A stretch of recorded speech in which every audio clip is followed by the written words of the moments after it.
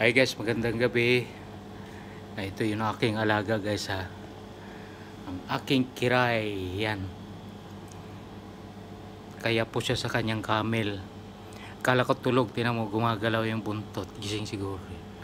Kunyari, natulog-tulugan siguro yan. Tinakpan niya yung ulo niya. Yan mo guys ha. Yan, yan, yan. Oh, ay, yung ano niya, oh, ilong niya, oh. Nangyari din siya eh. Parang ano din siya din. oh. Yung mo naman yan. Oo. Unat po more. Unat pa rin. Laki-laki ng alaga ko guys. No? no? Dati ang liit lang yan. Pakita ko sa inyo ulit yung video niya kung gaano siya kaliit dati. Ito guys ha.